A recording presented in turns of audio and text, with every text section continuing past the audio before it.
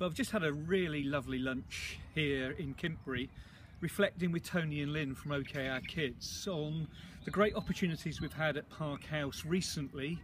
fundraising opportunities where we've brought in great rugby personalities, Sean Fitzpatrick, Zinzan Brooke and most recently Nigel Owens.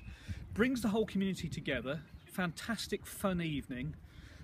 but crucially for a fantastic cause. And uh, it's something we really want to build on because we can see great opportunities here to just have a really good time, with some really great people, great company, but doing something for a very special charity indeed, changing for the better lives of young people right across the area.